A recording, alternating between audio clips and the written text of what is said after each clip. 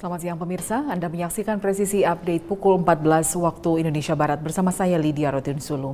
Sebagai persiapan menciptakan suasana pemilu tahun 2024 yang aman, damai, dan kondusif, Polres Grobogan, Polda Jawa Tengah menggelar pelatihan penanganan tindak pidana pemilu. Kegiatan ini bertempat di Aula Jana Nuraga, Polres Grobogan. Maksud dan tujuan dilaksanakannya pelatihan penanganan tindak pidana pemilu ini adalah sebagai persiapan dalam pengamanan pemilu serentak tahun 2024. Dalam sambutannya, Kapolres Grobogan AKBP Dedi Andong Kurniawan melalui Kasat Reskrim AKP Kaisar Aryadi Pradisa mengatakan bahwa pemilu tahun 2024 berbeda. Untuk itulah diperlukan langkah-langkah dan penanganan yang berbeda di mana dibutuhkan kesamaan visi dan persepsi antar lintas sektoral dan pihak terkait pelaksana pemilu. Hari ini kita melaksanakan sosialisasi Gakumdu terkait persiapan untuk pemilu tahun 2024.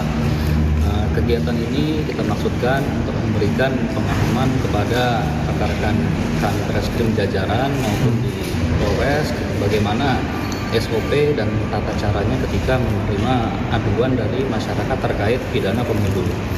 Untuk peserta yang hadir pada pagi hari ini ini dari rekan-rekan KBO, kemudian rekan-rekan Reskrim Polres serta kami Reskrim Polsek Jajaran.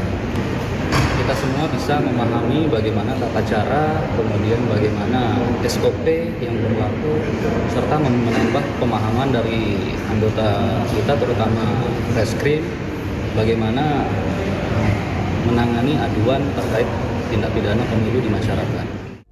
Peserta dari pelatihan ini adalah para kanit reskrim Polres dan Polsek Jajaran. Dengan harapan para kanit reskrim dapat menangani aduan-aduan terkait pidana pemilu lewat persamaan visi dan persepsi melalui Gakumdu. Turut hadir dalam kegiatan ini Kasibidum Kejaksaan Negeri Purwodadi dan pihak Bawaslu Grobogan. Tim Humas Polres Grobogan melaporkan untuk Polri TV.